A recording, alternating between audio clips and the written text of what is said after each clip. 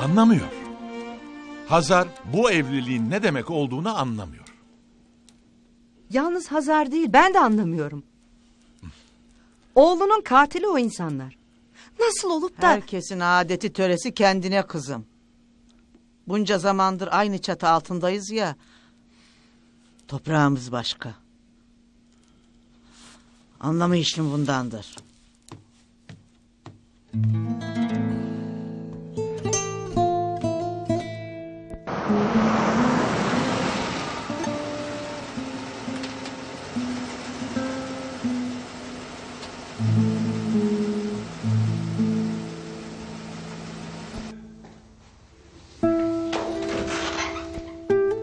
Hazar Bey, Destan Hanım sizi odasında bekliyor. Peki.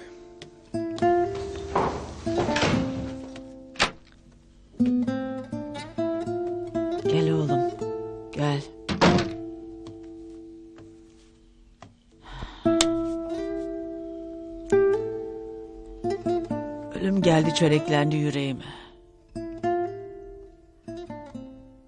Geceleri korkulu rüyalara açar oldum gözlerimi.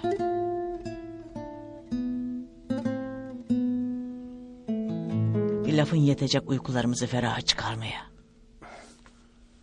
Aklım almıyor hala. Bu nasıl istek? Bunca işi, eğitimi boş ver diyorsunuz bana. Nasıl boş veririm?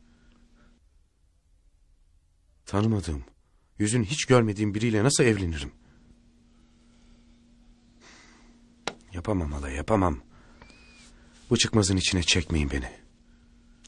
Bilirim oğlum, bilirim. Bilirim ya. Töreler böyle. Şunu bil ki hükmümüzü sen vereceksin oğlum. Kaderimiz senin elinde. Anlayacağın ya çarenin eşiğindeyiz ya felaketin. Gerisini sen düşün oğlum. Sen düşün.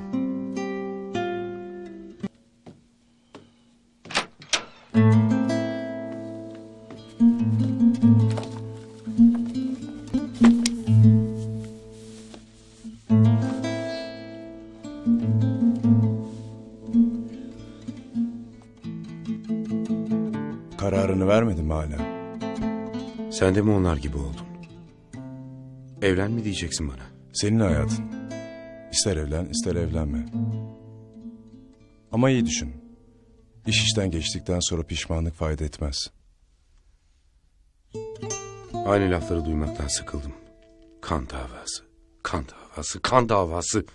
Evlenmekten söz ediyorum Hazar. Evleneceğin kızdan bahsediyorum. Senden farklı mıdır hali sanıyorsun? Güle oynaya mı gelecek senin yanına? Hiç mi acı çekmiyor bu meseleyle ilgili sanıyorsun?